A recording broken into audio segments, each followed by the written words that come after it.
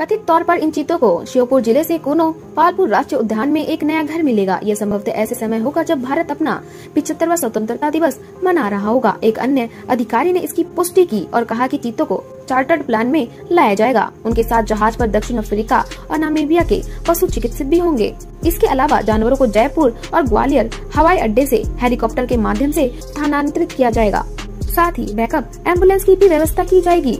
यदि उन्हें सड़क मार्ग से ले जाने की आवश्यकता है तो कुल यात्रा का समय लगभग 12 घंटे होने की उम्मीद है। वन्य जीव विशेषज्ञों ने चीतों के लिए उपयुक्त परिदृश्य के लिए भारत के मध्य प्रदेश में कोनो पालपुर राष्ट्रीय उद्यान की पहचान की।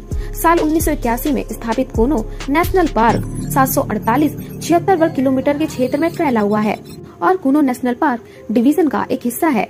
जो बारह वर्ग किलोमीटर के क्षेत्र को कवर करता है। कोनो नदी, चंबल नदी की प्रमुख सहायक नदियों में से एक है, जो राष्ट्रीय उद्यान मंडल को विभाजित करते हुए पूरी लंबाई में बहती है। मादा सहित 12 से 15 चीतों के आवश्यक की तैयारी की जाती है। अधिकारियों ने शुरुआत में जानवरों को रखने के लिए पाँच वर्ग किलोमीटर के क्षेत्र में आठ डिब्बे रखे हैं। तो दोस्तों, आपको क्या लगता है, भारत में क्या फिर से चीतों की वृद्धि होगी? आप हमें कमेंट बॉक्स में कमेंट करके ज़रूर बताएँ और साथ ही साथ वीडियो को लाइक और चैनल को सब्सक्राइब करना ना भूलें।